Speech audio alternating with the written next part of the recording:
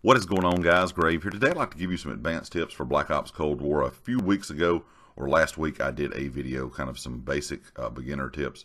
Today's going to be a little bit more in-depth, some things some of you may or may not know. Before I get into it, make sure if you have not subscribed to the channel yet, if you are watching, take a second to subscribe. I really would appreciate it. And check out everything down in the description. GT Racing, of course, they are the affiliate here on the channel. And also down in the description, the community Discord is linked if you'd like to join it and also my Twitter if you'd like to follow me on Twitter. Now that that's out of the way, let's go ahead and get into the tips. The very first tip is stuns will affect sentry guns. Now I know in core there's not a lot of sentry guns out there. I've noticed when I play hardcore with some of my friends that I see a lot more sentry guns, and sentry guns in hardcore can be very annoying. Um, and I noticed, you know, if you run a stun grenade, you can stun that thing for a couple seconds. It will put it down and kind of disable it. You can get you kind of move angle so you won't get shot by it. You can move to, to get closer to being able to destroy it. Um, it is very easy to destroy sentry guns no matter what you're playing. If you're playing in hardcore or regular core, all you have to do is stick them with a Semtex. That's usually what I always do. I just stick them with a Semtex. You can throw grenades so far in this game, it's easy to get one at long ranges, but they can be very annoying if they're placed properly. There's some really good places, some really good angles in the game where you can place sentry guns they're a little bit harder to get grenades to. They're a little bit harder to stun. So make sure if you you know you're having annoying sentry guns in a, in a lobby that you're in, that you pull out those stun grenades, start stunning them out. Like I said, disabling them. That way you and your team can kind of move around them, or you know kind of get close enough to destroy them. The second thing that I'd like to talk about is what's going to rank up your weapons quickly. Uh, I know a lot of people want to know how to rank up your weapons. You know, today we're all going to get double weapon XP, so that's going to be really, really nice. But when there's not double weapon XP going on, uh, hardcore actually ranks up your weapons very well if you do pretty decent because you get a lot of one-shot kill medals. Also, long uh, base objective game. So long time is what I'm meaning by that. So anything like uh, Fire Team Dirty Bomb, of course, Combined Arms, anything that's going to be a pretty long, lengthy game. You know, a lot of those game modes, whether it be Fire Team Dirty Bomb or uh, combined arms are going to last anywhere from 15 to 20 minutes. Plus, some of them may go al almost to 30. So, if you're doing a pretty good job in those games of getting kills and things like that, or in those modes, you're going to be able to rank your weapons up quickly. I know a lot of people have been talking about these modes, and I think some people are confused. Uh, you're not just going to be able to hop in Fire Team Dirty Bomb and go, you know, 8 and 8 in a 20 minute game and get a lot of XP on your weapon you're actually going to have to be killing. You're actually going to have to be doing decent. It's the same with hardcore. If you get in, you're only getting you know five or six one-shot kills a game compared to 20 or 30. You're not going to rank your weapon up as quickly. So if you perform well in these long, time-based games, you will see a big improvement in uh, ranking up your weapons. When, like I said, when there's not double XP going on. But with that double XP starting today, of course, November the 24th and running until November the 30th, uh, it's going to be a lot easier to rank up your weapons no matter what modes you're playing. And I'm sure if you hop into some of these bigger game modes that are longer timed modes and you're playing with double weapon XP, you're going to see a big, big boost in those weapon levels. I did make a video a few days ago showing you kind of my warm up every morning, uh, kind of how I like to go in, shoot bots, that kind of thing. I also talked about how that's very good to start improving your aim and then kind of go from an improving your aim drill to a just kind of warm up drill from day to day uh, that is something you want to do. If you want to learn to improve your aim, definitely uh, check that video out. It's something I do every year. I always make this video every year. It's something I've always done since uh, Call of Duty has added bots into the game. This is very good, like I said, for improving your aim. That's what I used to improve my aim back in the day. Now, like I said, I've just kind of turned it into a practice drill every morning I can get on, warm up before I sit down with a long, you know, kind of play session, get my hands warmed up, get my hand-eye coordination going, that kind of thing. So if you do not do that, I would highly recommend that you do. Like I said, you can do it to improve aim, and you also can do it as a warm-up drill as well. The next thing I kind of could say right now with the game being out not that long is use meta weapons. Now, I know things have changed with this uh, most recent update. Uh, the FFAR, which in my opinion was probably the best AR in the game if you knew how to use it, has been nerfed drastically. The MP5 has taken a pretty big hit. Uh, the M16 and the AUG were nerfed. I think they will probably get nerfed again because as of right now, they are still really good. Um, but you want to use things that are the meta weapons when you're starting to play. Uh, mean, you're just first starting out in the game. Uh, if you're trying to run around with things that are not really that good, you're going to kind of be in trouble. So, in my opinion, right now, if you're looking for ARs to use, the AK and the Krig are have definitely moved up to the top tier list, in my opinion, in the AR category. Uh, when it comes to subs, the MP5 is not bad. The 74U is probably one of the better subs. It does have some range to it. And also, don't sleep on the Bullfrog. The Bullfrog is very decent as well. Uh, when it comes to, like I said, those kind of uh, the scout rifles, those burst style rifles, uh, the M16 and the AUG are both really good still.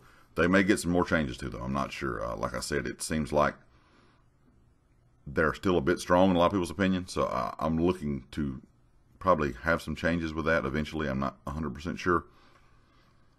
But just make sure you're trying to use these meta style weapons because, like I said, if you're trying to use something that's not good, uh, you're going to get beat in a lot of situations. Now, later on, as the game changes, as the life cycle is a bit longer in the game, uh, people start to figure out different things with different weapons. We have nerfs, we have buffs, we have new weapons coming to the game. Of course, this could change. You can start using off meta style things. But as of right now, from the start, if you're just now starting out, if you only had the game for like a week, you know, a, a little bit longer, using those meta weapons will definitely help out with your score overall, your KD, that kind of thing. Um, the next thing I could tell you that is something that I should do more often than I do not, and that is change your streaks for whatever map that you're on. For example, this map right here, a cruise missile is not really that good on Armada. Most of the time when I call in my cruise missile, I can see enemies, but all of the, the rigs that are kind of going across the top of the map, the cranes, they block a lot of your cruise missile shots. So for something like this, using a grenade launcher in some of these tight, you know, domination or hardpoint uh, spots, even team deathmatch, there's a lot of areas in here that the grenade launcher would work very, very well. But then if you come out to a map like Cartel, where it's a lot more open spaces, the grenade not, grenade launcher may not be as good. Uh, you know, if you go out in any map that has bigger open spots, you might want to use something like a chopper, something like the cruise missile. Uh, a lot of the kind of aerial kill streaks are better for those larger maps and I get in a bad habit of not changing my kill streaks, but I'm going ahead. I'm going to go ahead and tell you it is one of the best tips that I can give you is change your kill streaks depending on the map. Uh, if you can change those up, you can get a lot more kills with those streaks. You won't be stuck with something like a grenade launcher uh, running around on Miami out in the middle of the street where you really can't get a lot of range out of it.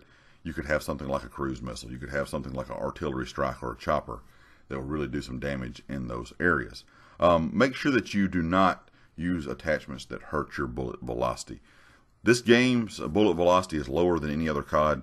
Uh, some of the guns now have better bullet velocity than others, but bullet velocity on a, a barrel is always, in my opinion, the best thing to use. If you can find one that has bullet velocity and damage range, that is a plus. But never really use a barrel that's going to hurt your bullet velocity because you're going to start to feel like you're shooting BBs at people uh, if your bullet velocity is, you know, really down on a weapon if you have better bullet velocity on a weapon, you'll start to see how well these weapons can kill at all different ranges. Um, do not ever chase anyone. That's a tip that I give in every single first person shooter video that I've ever done. It is always a bad idea to go after somebody. And I do this myself still to this day. From time to time, I'll catch myself doing it. But you never, ever, ever want to chase an enemy. If you chase an enemy, majority of people that are smart players are going to go around the corner and wait on you, get an angle to wait on you, and you're pretty much just going to be feeding them kills. It's kind of the same concept if someone is parked up on a head glitch, you don't want to just keep continuously charging at them because you're just going to feed them kills and feed them kill streaks. Play smart is pretty much what this kind of means. You know, you just want to not chase people, not to go after people on head glitches uh, because, like I said, you're just going to be feeding them everything. And in this game where it's pretty strong, uh, you're going to be a pretty strong player if you can hold corners, hold head glitches. You know, you're pre-aimed in a lot of places you're going to win a lot of those gunfights. And if you're chasing enemies, uh, most of those players, like I said, most players are going to get on a head glitch, hold an angle, uh, hold you, you know, with an aim down sight, something like that. So when you come around that corner chasing them, you're going to be pretty much toast. Um, learn the different movements in the game. Uh, jump shotting is not as great in this game, in my opinion. Slide canceling is still a thing, and regular sliding, of course, is a thing. Just be careful when sliding. In my opinion, sliding is nowhere near as good as it was in the beta. Of course, it did get nerfed.